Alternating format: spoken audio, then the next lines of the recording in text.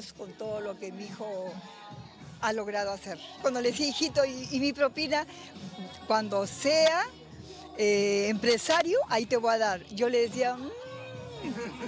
Y ahora le ha dado esta casa, nos está contando. Y ahora sí me ha hecho mi casita, mi hijito, me ha hecho mi casa. Estoy feliz. Era tanta la emoción de la mami de Yirko que hasta se le escapó una infidencia.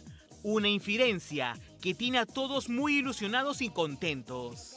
Ahí va mi, mi chiquito que ya pronto va a ser papá. Sí, sí, es un sueño que si Dios quiere el próximo año se va a cumplir. ¿Sería hombrecito o mujercita? Mujercita.